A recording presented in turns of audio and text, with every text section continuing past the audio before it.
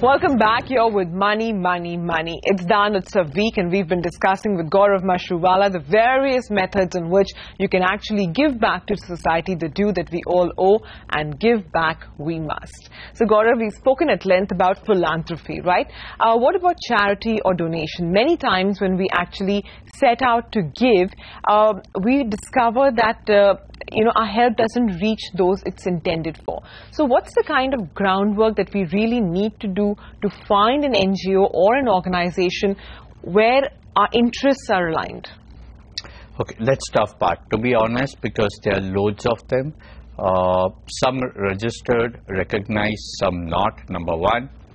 Number two, some of them are uh, just the sourcing agency. So they would collect money and then they would in turn be giving it to smaller agencies mm. who would be doing the groundwork. Now it's a call that you need to take. What do you want to do? So first is that there are a couple of websites like Know Your NGO and I think there are one or two others which gives only the information about lots and lots of NGOs. So they would have listed down the activities those NGOs do, their balance sheets, how much money is used for administration, how much money is actually used for the cause, the kind of projects that they have done. But whenever you're giving it to an NGO, ask them for a report. All NGOs which are registered have to have that report. And it's not very difficult to get just that people don't know, so they don't ask. And those reports are not very technical. So apart from balance sheet, which you can keep it aside, but the notes that you will read, you will come to know first what is the eventual aim. Is it that they are collecting money, which is fine. There are some of them who are brilliant at collecting money and then giving it to smaller NGOs who will do groundwork. If you want to do that, do that. The second option is that check out of that money that's been collected and there'll be information given how much is used for administration, paying salaries and how much is the actual work that's happening. Now, there are two thoughts to it. There are some which says that look, we are pure, purely collecting large amount of money. We hire very qualified people, so they make an optimum use. Now, there the administrative expenses could be 40, 50, 60%. Only 40% is being used, but according to them, they are doing brilliant work. There are some where the pay scales and everything is very, very less, but the huge amount of money is actually reaching. Now, it's not good or bad. It's just that be aware of them. Hmm. Also, look at whether they are recognized or not, number one. If you are really very keen, and if it's a charitable institution, then you can even go to Charity Commissioner, file for an RTI and get the information. But I don't think many people are going to do that. But if you want to, you can. If you go to Charity Commissioner's office and say so-and-so charitable trust, this is the number, and please give me the information, you get that information. So there are various ways. You can even go and visit the NGO. You can say the place where you're working, we want to come and pay uh, a visit to that place you'll have to do some groundwork if you want to be sure. Alternatively, there are some big ones, really big ones, which has been doing work for very, very, like Ramakrishna Mission is the one name that comes to my mind. Christian missionaries have been doing a lot of work. Uh, mm. I'm sure Madrasa and all, they are also doing good amount of work. There are a couple of temple trusts which does good work.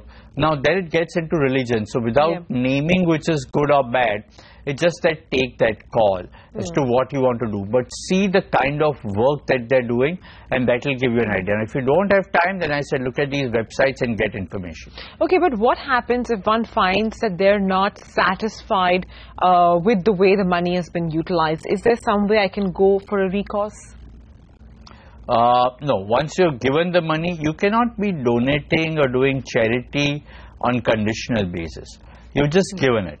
So then, no, if I find that the money has not been utilized at all for charitable purposes. So yes, if you are saying that the initial cause and the the articles and memorandum of the trust or the trust deed of the trust or if whatever way it's formed said this has to be used for so and so purpose yeah. and if you find out misuse obviously you can go to charity commissioner. If it's a company which has been formed you can go to registrar of company. You can lodge complaints. Mm. you can even go to income tax department and file a complaint because they would have tax benefits. Oh yeah there are enough legal recourses that you can take. That's perfectly fine. And then lodge a complaint and say please get me information. For all these you can file an RTI and get information. There are many RTI activists who are doing wonderful work. In fact most of them don't even charge when you go and tell them, look, I want information about an NGO. So those resources you have. So if you have the inclination and if you have the time, then yes, you can do it. Okay, so you spoke also about uh, some of the formalized bigger institutions. There are government institutions. As well, we all know that there are local NGOs who are actually doing, uh, you know, grassroots uh, uh level kind of work.